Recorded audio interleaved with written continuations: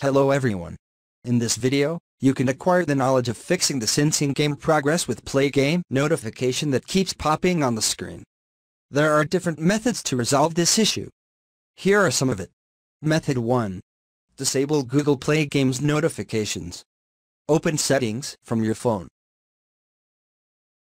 On the Settings page, tap on the apps. You can see the various inbuilt and downloaded apps on your phone. Click on Google Play Games. Click on Notifications from the top of the page. Disable Show Notifications. Now you can see the issue is resolved.